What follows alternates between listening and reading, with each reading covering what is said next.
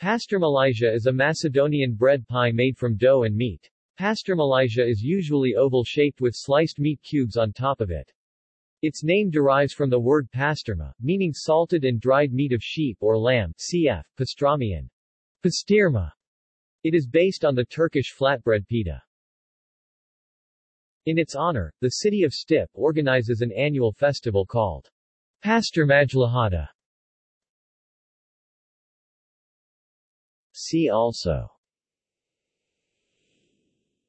Etli ekmek.